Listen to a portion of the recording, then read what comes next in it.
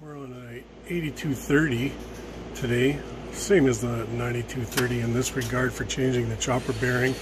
We're on the left side here, side with the belts on, and then we just changed this to the new style. And the old style is this one here with the three little set screws.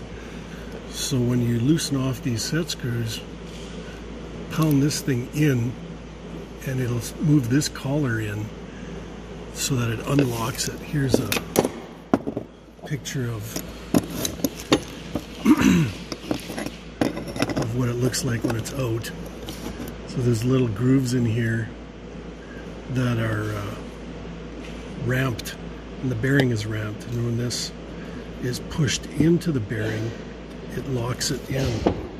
Same as this shaft. This one here I'm going to have to reuse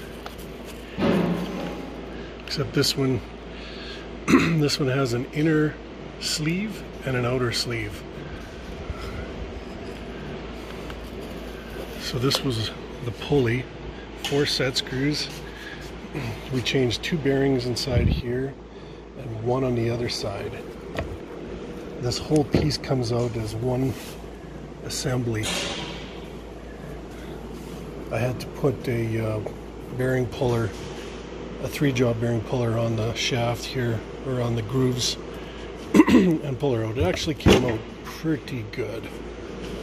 Huge snap ring there. so putting it on, I'll have to line up this shaft and get it on there. Dual filter we just moved up out of the way to access these pulleys.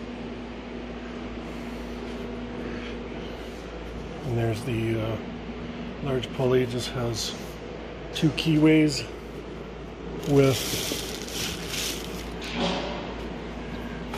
an insert, an inside keyway and an outside keyway. There